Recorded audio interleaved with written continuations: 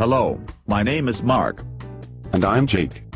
Today, we will be talking about Mama Luigi from Super Mario Logan and he will be talking about No No Seacrest. Well, on SML, Mama Luigi has died because of Bowser. Yes, I hope he comes back someday. He did come back for a sec. In Mario and Luigi Stupid and Dumb Travels Season 2. He did. Yes, so that means something. I don't think he is dead. But if he does come back and Zeke does not move back, that means a new voice actor. I hope he comes back.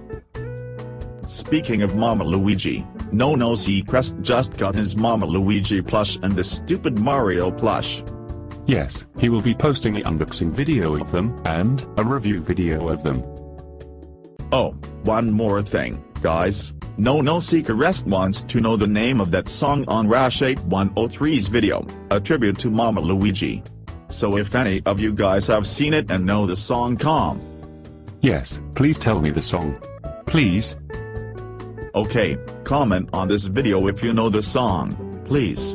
Okay, that's all we have to say right now, bye. Bye.